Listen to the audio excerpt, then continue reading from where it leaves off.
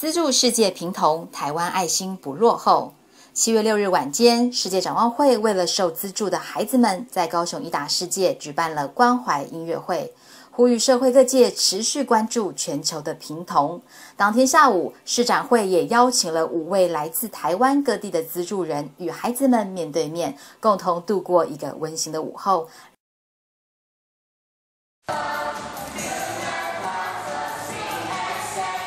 新希望基金会主办的二零一二年首届抓马 Super Idol 美语戏剧比赛，于七月七日在新店新大会热闹举行。参赛队伍分别来自于小太阳计划及台东东光计划的课后陪读班孩童与青少年，共有二十四队。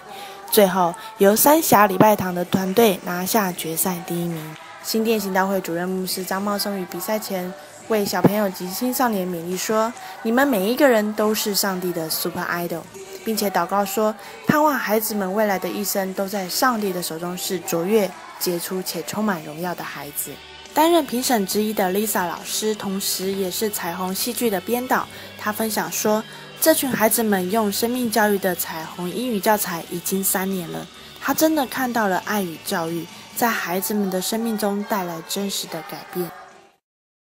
以上新闻由国度复兴报记者编辑播报。